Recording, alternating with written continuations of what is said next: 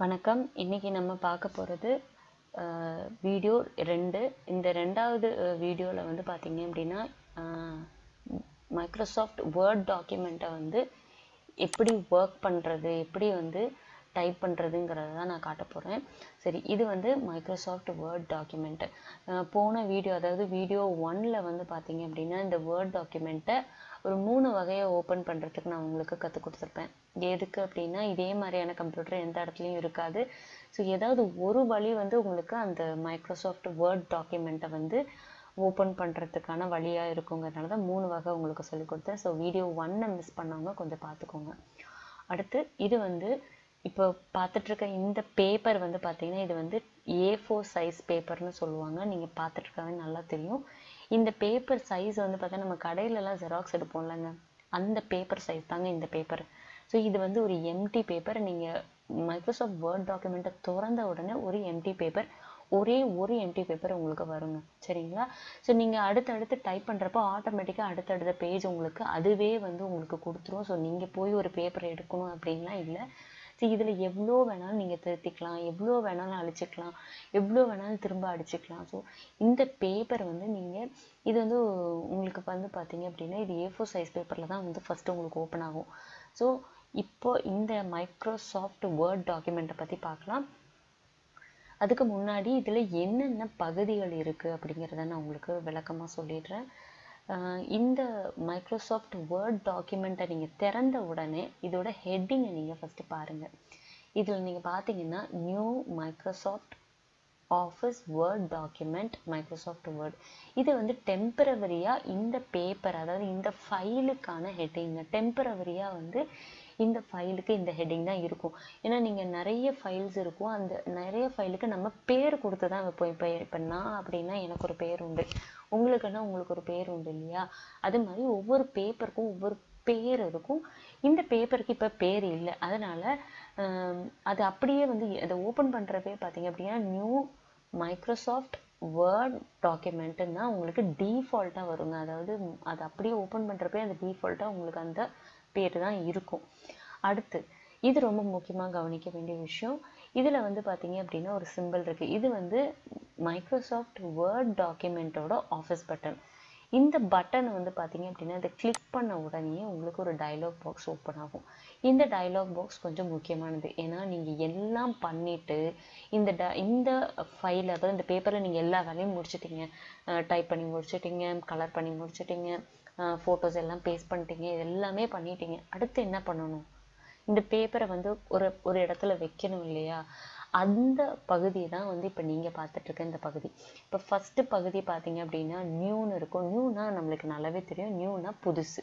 அப்போ உங்களுக்கு வந்து இந்த பேப்பர் டைப் பண்ணிகிட்டு இருக்கப்பே வந்து வேற அதாவது கம்ப்ளீட்டாக ஒரு வேறு ஒரு ஃபைலில் வந்து நீங்கள் உங்களுக்கு வந்து இதில் இருக்கிற டாக்குமெண்ட்டை கொஞ்சம் அதில் எடுத்து வைக்கணும்.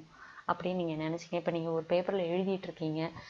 எழுதிட்டு இருக்க அந்த ஒரு பாயிண்ட் வந்து உங்களுக்கு ரொம்ப பிடிச்சிருக்கு. சட்டுன்னு இன்னொரு வெள்ளை பேப்பர் எடுத்து எழுதணும்னு சொல்கிறீங்க இல்லையா? இதுக்கு கீழே உங்களுக்கு ரெண்டாவது பேப்பர் வரும். என்ட்ரு அடித்து தட்டினீங்கன்னா வரும். ஆனால் நீங்கள் அடுத்தடுத்து எழுதுகிறப்போ அந்த பேப்பர் வந்து கீழே போய்கிட்டே இருக்கும். ஸோ உங்களுக்கு அதனால இன்னொரு வேர்ட் டாக்குமெண்ட்டை சட்டுன்னு உங்களுக்கு அப்படியே எழுதிட்டு இருக்கும் போதே இன்னொரு டாக்குமெண்ட்டை ஓப்பன் பண்ணணும்னா நீ வந்து நியூ டாக்குமெண்ட்டுக்கு போகலாம். ஸோ இது வந்து முதல் வகைங்க. ஸோ அடுத்து பார்த்தீங்க அப்படின்னா ஓப்பன் இந்த ஓப்பன் எதுக்கு அப்படின்னா ஏற்கனவே ஒரு வேர்ட் டாக்குமெண்ட்டை டைப் பண்ணிட்டீங்க. சரிங்களா? ஏற்கனவே ஒரு வேர்ட் டாக்குமெண்ட்டை நீங்கள் நல்லா அழகாக அடித்து சேவ் பண்ணி வச்சுருக்கீங்க. அதாவது பத்திரப்படுத்தி வச்சுருக்கீங்க. சேவ் அப்படின்னா பத்திரப்படுத்துதல். சேவ் பண்ணி வச்சுருக்கீங்க. அந்த சேவ் பண்ணியிருக்கிறத வந்து திரும்பவும் நீங்கள் திறக்கணும் இல்லையா? இப்போ நீங்கள் வந்து இந்த வெள்ளை பேப்பரில் நீங்கள் டைப் பண்ணிட்டு இருக்கீங்கன்னு வச்சுக்கோங்களேன். இந்த வெள்ளை பேப்பரில் டைப் பண்ணிட்டு இருக்கும்போது உங்களுக்கு திடீர்னு டவுட் வருது. பழைய பேப்பரில் நம்ம என்ன டைப் பண்ணணும் எந்த மாதிரி டைப் பண்ணணும் அப்படின்னு சும்மா உங்களுக்கு வந்து ஒரு பார்வை பார்க்கணும் அப்படின்னு நினச்சிங்கன்னா ஓப்பனில் போயிட்டு கிளிக் பண்ணிங்கன்னா வந்து அந்த பேப்பர் திறந்துடும் நான் வந்து உங்களுக்கு இப்போ வந்து விளக்கங்கள் மட்டும்தான் கொடுத்துட்டே இருக்கேன்.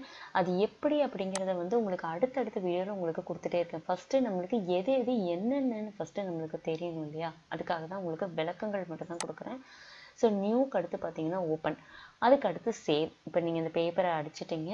இந்த பேப்பரை சேவ் பண்ண போகிறீங்க அப்படின்னா அந்த சேவ் பட்டனை அமுக்கலாம். உங்களுக்கு எல்லாமே இங்கிலீஷில் தான் இருக்கும். அதனால் முடிஞ்ச வரைக்கும் இதுக்கு நான் தமிழ் அர்த்தங்கள் உங்களுக்கு சொல்லிடுறேன்.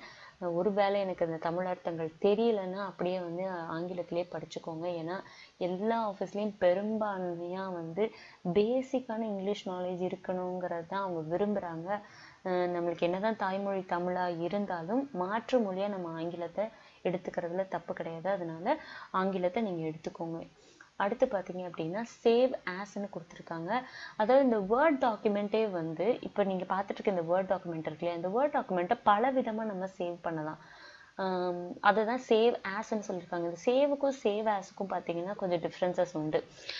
சேவ் அப்படிங்கிறது பார்த்தீங்கன்னா அந்த ஃபைலை அப்படியே வேர்ட் டாக்குமெண்ட்டாக சேவ் பண்ணும். அதாவது இந்த பேப்பரை அப்படியே வேர்டாகவே சேவ் பண்ணி வைக்கிறது.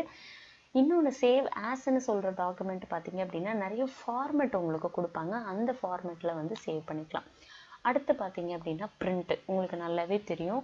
நம்ம ஜெராக்ஸ் கடைக்கு போகிறோம் எனக்கு வந்து ஒரு ஒரு பயோடேட்டா ரெடி பண்ணித்தாங்க அப்படின்னு சொன்னாங்கன்னா அவங்க உங்களோட டீட்டெயிலாம் கேட்டு உங்களுக்கு டைப் பண்ணுவாங்க. உங்கள் பேர் என்ன உங்களோட படிப்பு என்னெல்லாம் கேட்டு டைப் பண்ணுவாங்க இல்லையா? டைப் பண்ணிவிட்டு பிரிண்ட் பண்ணி கொடுப்பாங்க. பிரிண்ட் பண்ணி கொடுத்துட்டு இந்த இதை பாருங்கள் இது கரெக்டாக அப்படின்னு கேட்பாங்க இல்லையா? அந்த பகுதி தான் பிரிண்ட் அப்படின்னு சொல்லுவாங்க.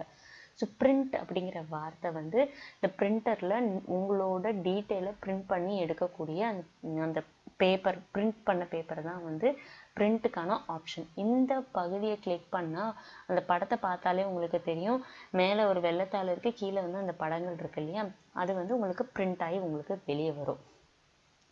அடுத்தது வந்து பார்த்தீங்கன்னா இந்த இந்த பகுதி எல்லாமே நம்மளுக்கு வந்து கொஞ்சம் ஹை லெவலில் இருக்கவங்க பயன்படுத்தக்கூடியது. அதனால இது வந்து உங்களுக்கு அடுத்தடுத்த வீடியோவில் இது நெசசரியாக இருந்ததுன்னா நான் உங்களுக்கு கற்றுத்தரேன் அடுத்தது பாருங்க. ஸோ இந்த ஆஃபீஸ் பட்டனை இன்னொரு தடவை கிளிக் பண்ணிங்கன்னா இந்த டைலாக் பாக்ஸ் மறைஞ்சு போயிடும். ஸோ நீங்கள் கிளிக் பண்ண அந்த டைலாக் பாக்ஸ் உங்களுக்கு வரும். திரும்பவும் நீங்கள் கிளிக் பண்ணிங்கன்னா இந்த டைலாக் பாக்ஸ் போயிடும். இதை வந்து டைலாக் பாக்ஸ்ன்னு தான் சொல்லணுங்க. இது வந்து அதோட டெர்மினல் வார்த்தை. இது வந்து டைலாக் பாக்ஸ்ன்னு தான் சொல்லணும் சரிங்களா? இந்த வார்த்தைகள்லாம் உங்களுக்கு கொஞ்சம் புரிபட சிரமமாக தான் இருக்கும். ஆனாலும் போக போக உங்களுக்கு புரிய ஆரம்பிச்சிடும் ஸோ இன்றைக்கி நம்ம பார்த்துருக்கிறது எம்எஸ் வே ஆஃபீஸ் டாக்குமெண்ட்டோட ஆஃபீஸ் பட்டனில் என்னென்ன இருக்குங்கிறத கற்றுக்கிட்டோம் நன்றி.